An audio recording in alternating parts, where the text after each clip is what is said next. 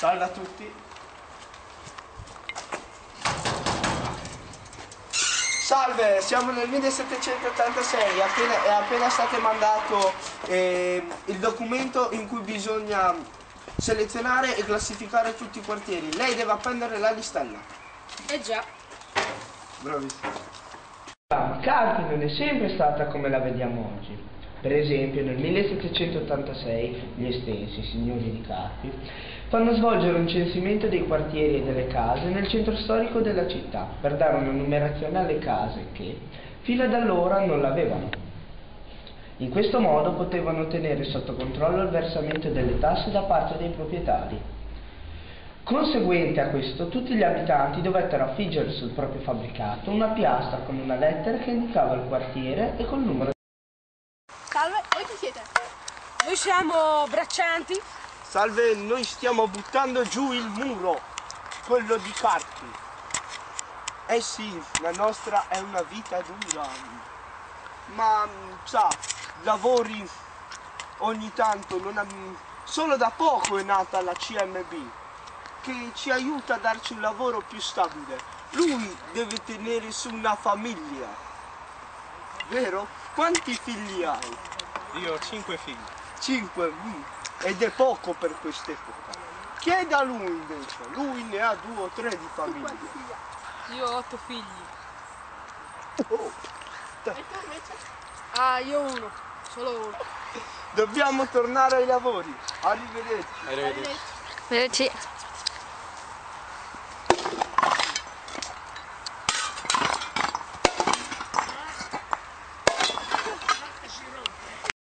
Le mura erano state uno dei simboli del prestigio di Carpi, persero però importanza nel tempo.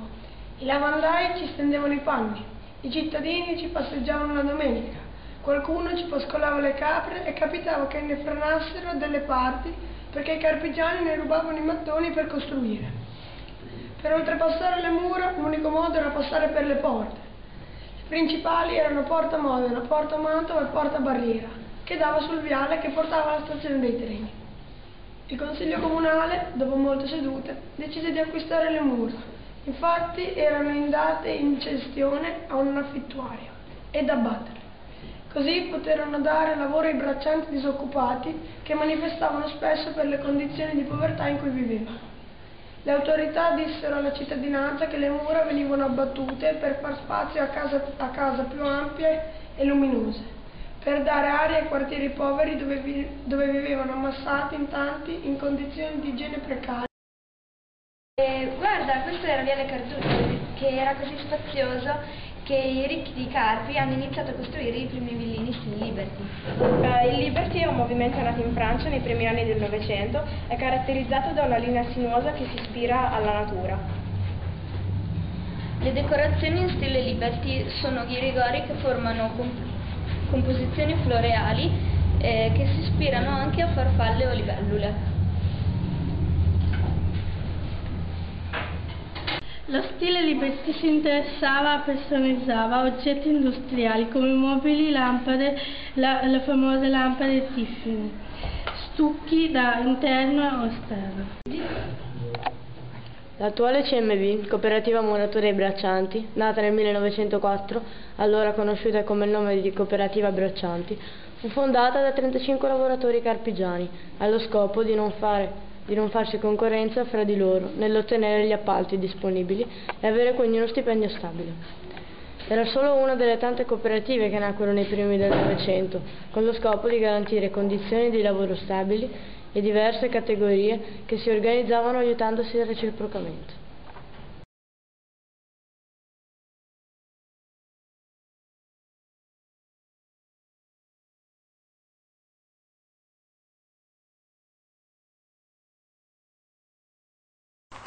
Scusate, eh, ma voi qua cosa siete contadini? Stiamo, facen- eh, stiamo raccogliendo, loro stanno zappando per, per togliere le erbacce e mm, io invece sto un po' curando la vite per quest'estate che nasceranno, che nascerà l'uva. Ma spiegatemi bene quali sono le condizioni di vita di un contadino. Le condizioni sono pessime, eh, si muore facilmente, anche dolceta. E Troppo? Beh, e spiegatemi come mangiate, come vivete appunto. Ah, noi mangiamo quello che riusciamo a produrre dalla nostra terra. Perfetto, questa è la situazione di vita dei contadini. Ma come facevano le donne incinte a lavorare? Dove lasciavano i propri figli? Ho letto che andavano comunque nei campi a lavorare e lasciavano i figli piccoli a casa con i vicini o con la famiglia e spesso soffocavano i bambini perché erano incustoditi. Lo sai qua- eh, qual era il ruolo fondamentale della donna nel 1950? Non lo so, dimmelo tu visto che hai studiato. Le donne erano impegnate si- sia nelle fabbriche e- che a domicilio e spesso lavoravano eh, le trecce e i capelli. E dove lasciavano i figli? Nelle scuole improvvisate i bambini dovevano lavorare la treccia perché dovevano aiutare economicamente la famiglia. E così è cominciata la nostra avventura con l'archivio storico comunale di Carpi.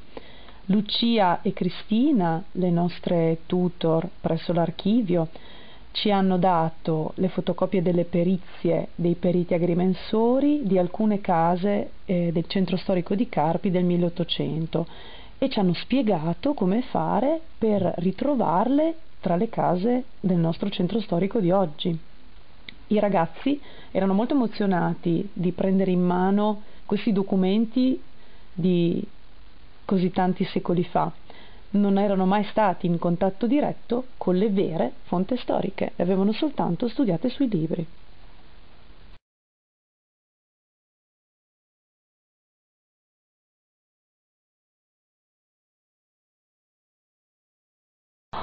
Quartiere A, strada maestra, andava da Porta Mantova a Porta Modena. Il numero civico A1 fu attribuito al Castello Ducale, il numero civico A2 al Palazzo del Vescovado. Questo è evidenziato il quartiere strada maestra. Eh, in questa strada, eh, Corso Panti, nell'angolo Galilei, eh, c'era la scuderia e il fienile. Usa- e I cavalli venivano usati come mezzi di trasporto.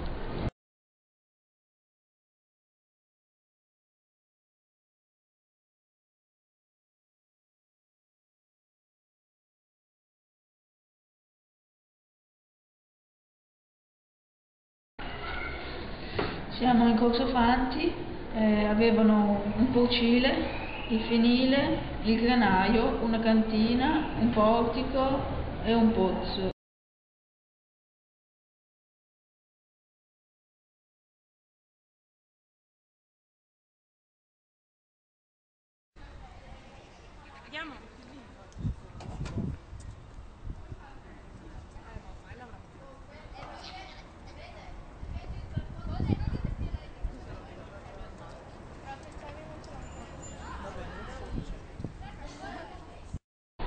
Siamo di Corso Fanti, eh, nella casa numero 537.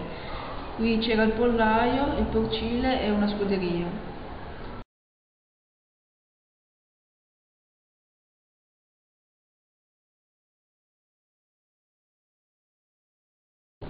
In via Giordano Bruno eh, avevano una dispensa, due tantine, il portico, il terrazzo, il porcino e un pollaio.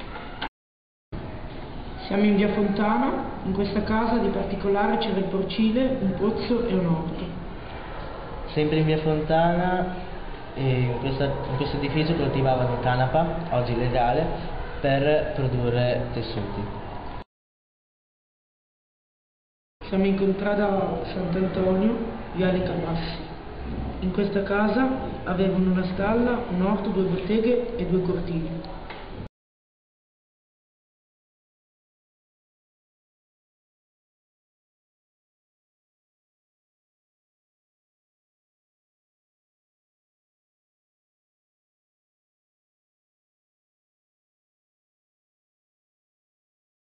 A un certo punto ci siamo intrufolati nei portoni e abbiamo scoperto che ogni casa ha un giardino.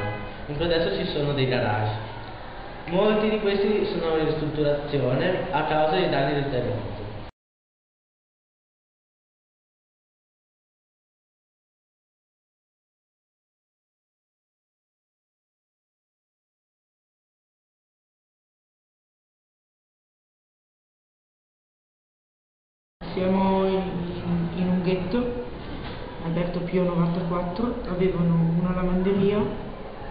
Una cantina e una dispensa.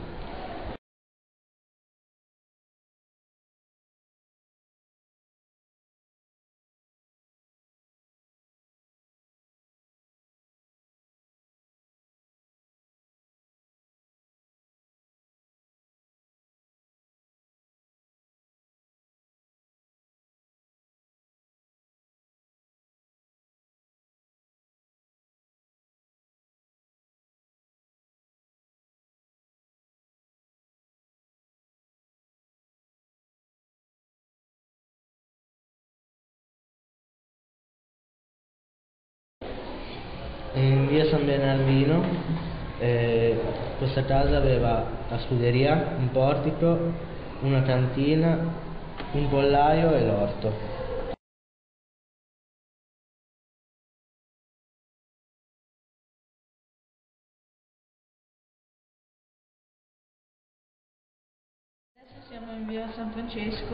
Eh, questa casa aveva un portico, due cantine e davanti ci passava il canale pubblico. In piazza Garibaldi c'era un pozzo, la stalla, il portico e una cantina con un camino. Eh,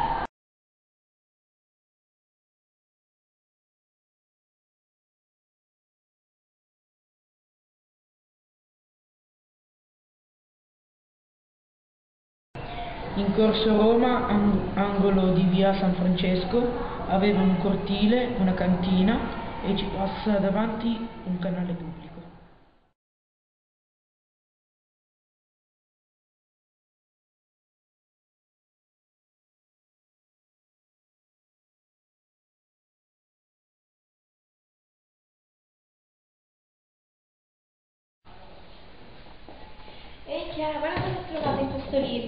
Carpi di ieri, ci sono foto della nostra città tra il 1800 e il 1900. Dai, fammi vedere che sono curiosa.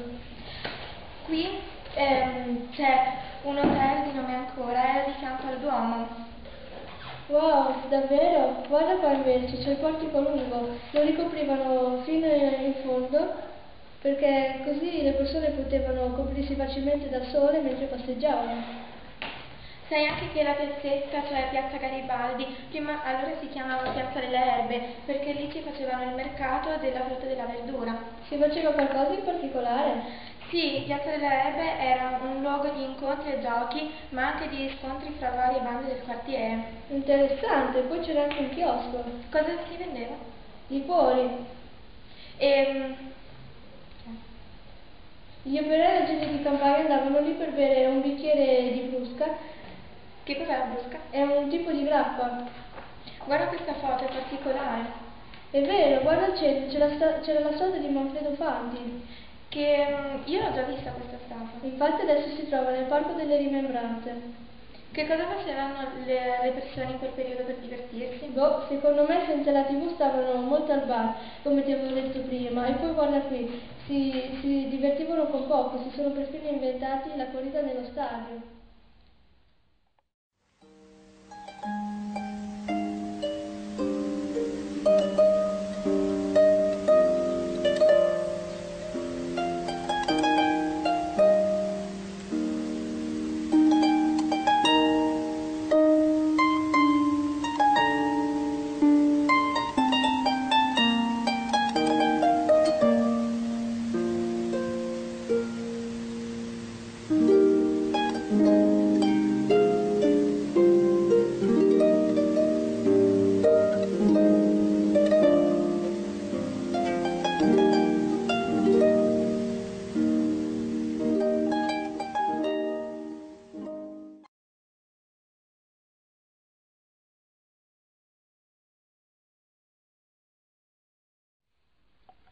Nei pomeriggi assieme abbiamo sfogliato testi di storia locale e confrontato le piantine antiche con quelle di Carpi al giorno d'oggi. E le colleghe di arte hanno guidato i ragazzi ad immaginare come poteva essere la piazza e come potevano essere i giardini di queste case di 200 anni fa. Questa casa è sull'attuale Corso Fanti, ai numeri 27 e 29. Ho scoperto che all'interno si trovavano tantissimi oggetti che oggi non si usano più. Per esempio? Per esempio la fornacchiella, che era una specie di barbecue per cucinare all'aperto, il lavello, cioè un lavandino di pietra, che usavano per lavare i panni, e il pozzo senza gravio, cioè si usava l'acqua al suo interno senza pagare.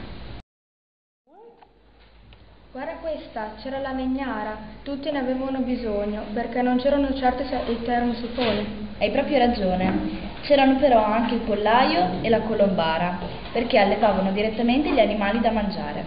All'interno si trovava un altro elemento molto particolare, una cappella affrescata. Wow, dentro alla casa. Non me lo sarei mai aspettata. Questa casa aveva un ingresso con due macine murate. La perizia dice che era una fabbrica di vasi con un forno per cuocerli e una camera per essiccarli. Non mi meraviglio, Lucia dall'archivio ci ha spiegato che la terra del nostro territorio era molto adatta per fare la terracotta, quindi c'erano alcune fabbriche di artigiani che facevano vasi. Questa casa si trovava in via Sant'Antonio, che oggi è diventata Corso Cabassi. La perizia indica che c'erano la stalla, una bottega, una loggia e la legnara. Erano veramente particolari le case del 1800, infatti dovevano essere molto belle perché una loggia era una specie di portico all'aperto. Dovevano essere molto ricchi perché la stalla serviva per i cavalli della carrozza. Perché non proseguiamo in via Sandro Cabassi? Questa casa era del 1800. All'interno c'erano vari elementi particolari, per esempio la bugadara, che era la lavanderia, il topico, cioè un gabinetto esterno comune per tutti gli abitanti della casa. E di notte come facevano? Scendevano in giardino? No, tenevano il vaso da notte sotto il letto e lo svuotavano nel topico al mattino. Quel pomeriggio la prof ci ha portato in via Manuzio e in via Sardegna e abbiamo osservato che sulle carte antiche di Carpi in quelle via c'era il portico, ma abbiamo notato che non c'è più. E che cosa c'è ora? Li hanno sostituiti con dei garage. Solo in via Giordano Bruno hanno mantenuto i portici. E inoltre abbiamo alzato gli occhi al cielo e abbiamo scoperto una striscia di affresco azzurro su una casa della via 20 settembre.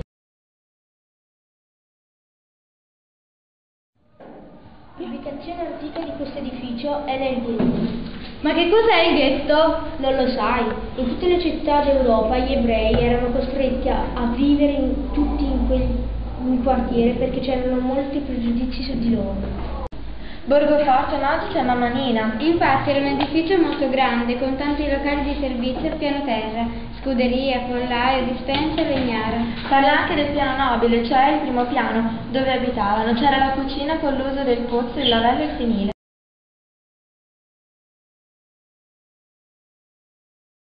Qui è via Arletti, dietro al Corso Roma. Dove c'era il mulino. Esatto, prima c'era anche un canale che attraversava la piazza. Perché c'era un canale? Perché veniva usato come spazzatura pubblica per irrigare e serviva al mulino.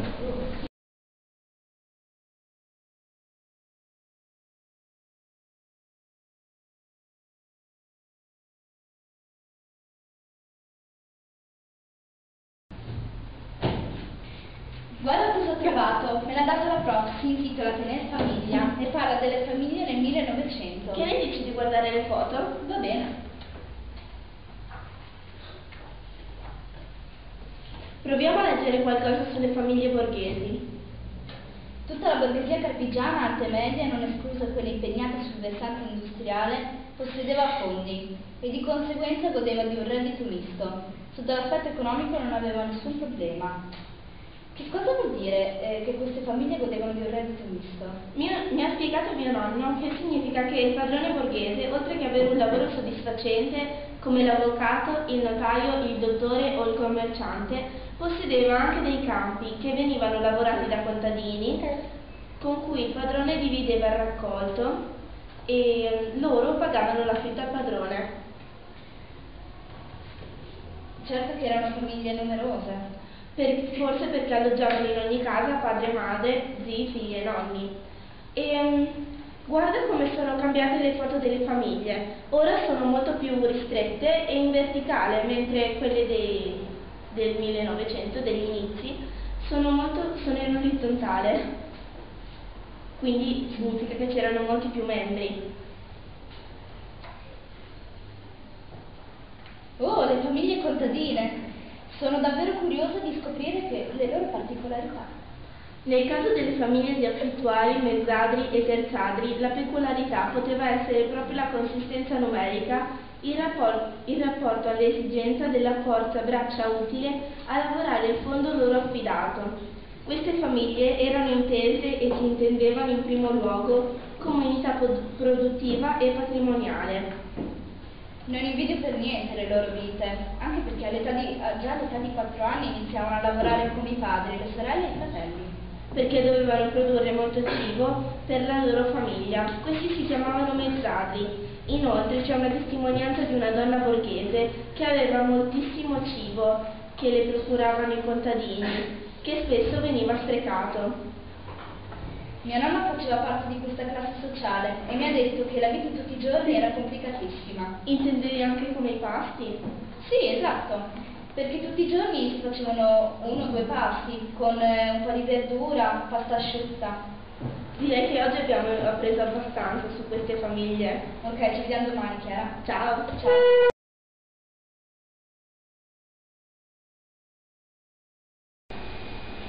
Guardate cosa ho trovato. Ho trovato tre libri della biblioteca. Ci sono delle foto che riguardano le cucine nel 1950. Sono molto diverse da quelle del 1800. Infatti nel 1800 non c'è il frigorifero.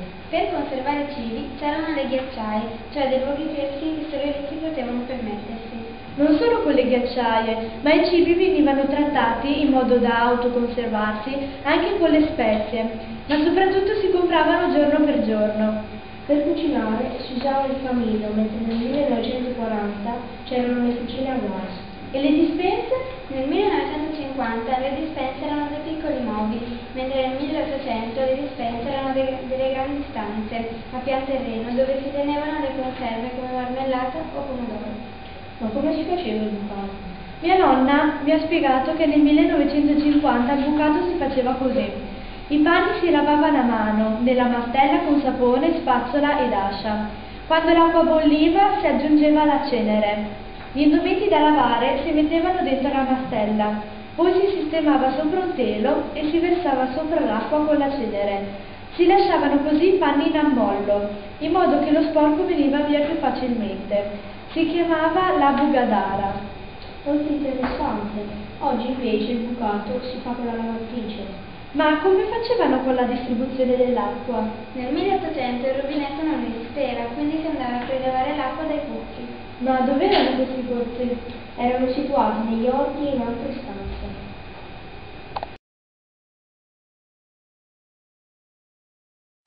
Questa è casa mia ed è stata edificata nel 1450 per volere della famiglia Barzelli.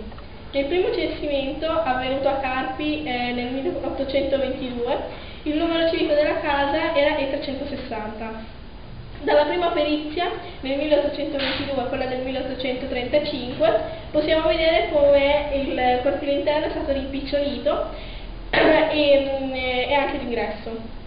Entrando nella casa c'è un loggiato che porta direttamente al cortile interno, dove ehm, l'anno in cui è stata edificata la casa è stato piantato un albero di carpine che è presente tutt'oggi.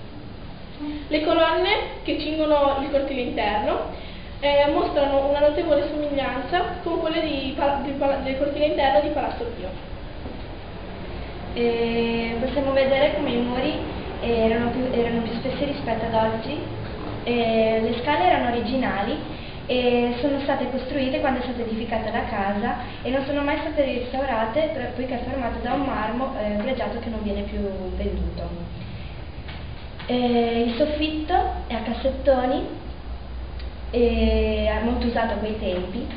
E, questa è una camera da letto dove nel, eh, dove nel 500 possiamo vedere che c'erano molti camini e anche nella, come anche nella sala da pranzo. Poi eh, questo è il piano, è il piano terra della casa attuale. al primo crematorio della casa attuale, eh, con l'ingresso e il cortile interno e oggi nella parte destra ci sono degli uffici e al primo piano eh, invece c'è la parte abitativa.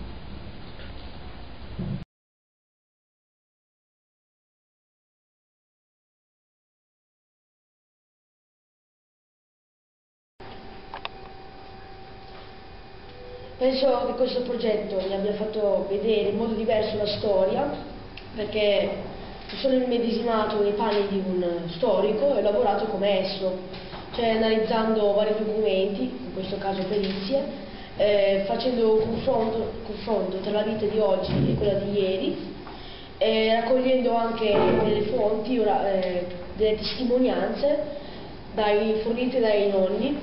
Eh, poi, eh, la cosa che mi è piaciuta di più è stata fare il riassunto delle interviste dei nonni perché ho scoperto delle cose nuove che non sapevo sulla vita tra oggi e com'era anche un tempo.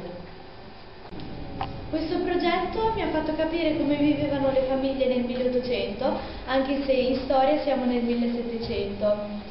Ho capito che vivevano in modo disastroso perché in quel periodo, oltre alla retrata coltivazione, c'era il colera. Questo progetto mi ha aiutato a capire il passato in modo diverso e più personale, entrando nel vivo e facendo storia in modo differente e istruttivo, anche dal punto di vista culturale e sociale. Mi ha fatto capire meglio la storia della mia famiglia e penso che mi rimarrà quasi tutto di questo lavoro. Il progetto è stato molto utile perché è stato un modo alternativo di studiare storia. Inoltre sono anche riuscito a collegare gli eventi studiati in storia con quelli sulla vita dei miei nonni. In particolare mi ricorderò il ruolo della donna nella vita politica e sociale della, della città, eh, che ad ogni ceto della società eh, corrispondeva un, uno stile di vita diverso e di conseguenza una casa con ambienti diversi. Questo progetto mi ha fatto vedere la storia in un modo diverso perché con esso abbiamo analizzato la storia della nostra città e della mia famiglia, che sui libri ovviamente non potevamo trovare. In particolare mi ricorderò dell'allegria eh, con cui abbiamo lavorato e dell'uscita che abbiamo fatto per fotografare le case di cui avevamo in precedenza analizzato la perizia.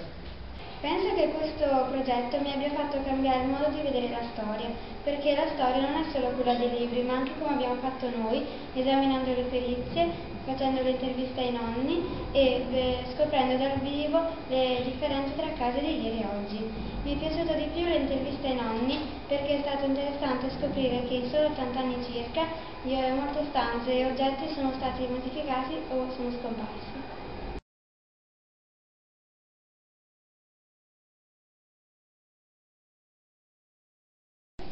Ho apprezzato di più i beni culturali grazie a questo progetto perché sto accorgendo che sta nascendo in me una curiosità rispetto alle case di ieri, del 1800 e quelle di oggi. 3, 2.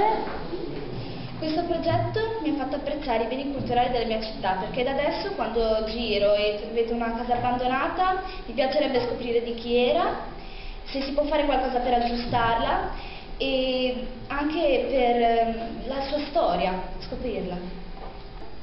Questo progetto mi ha fatto apprezzare i beni, i beni, culturali della mia città perché mi ha fatto scoprire molte cose e vorrei continuare ad approfondire la storia delle case di Carpi.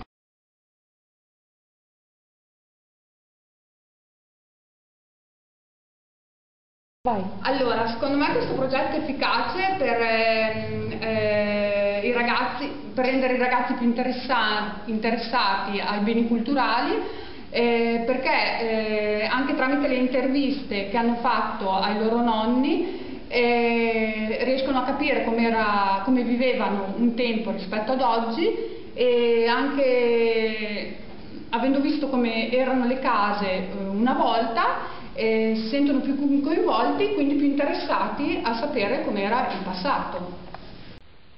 Per la mia personale conclusione ho scelto le immagini della visita alla casa della collega di arte, che è in pieno centro storico. La nostra guida era suo figlio, che è appassionato da sempre di dimore antiche. Credo che l'efficacia del lavoro svolto dai ragazzi sul piano della valorizzazione dei beni culturali sia già espressa da queste foto Infatti hanno avuto come modello un loro coetaneo che ha saputo districarsi fra le carte antiche per trovare le risposte alle sue curiosità. Ma noi abbiamo potuto anche andare oltre le carte. Siamo entrati in uno di quei portoni bui che sanno odore di cantina e lì abbiamo trovato un giardino interno da cui si ammiravano tutti quei tetti di altezze e colori diversi, perché le case vengono modificate in epoche diverse secondo le esigenze di chi le abita Insomma, è stato come inquadrare in un solo colpo d'occhio la storia di chi era vissuto lì negli ultimi secoli.